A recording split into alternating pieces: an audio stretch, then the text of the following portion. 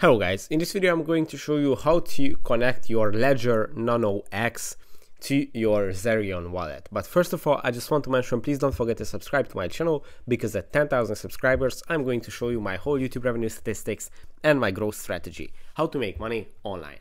So let's jump into it. First, open the Zerion app, then tap on the connect wallet section.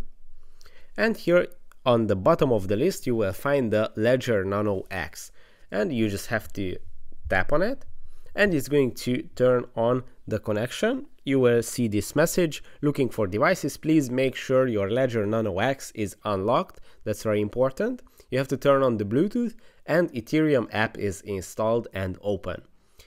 And when you've done that, uh, the Zerion wallet is going to find your Ledger Nano X and you can connect that to your Zerion wallet very easily. So that's pretty much it for this video. I hope it was helpful for you. If it was, please consider subscribing and see you in the next one. Bye bye.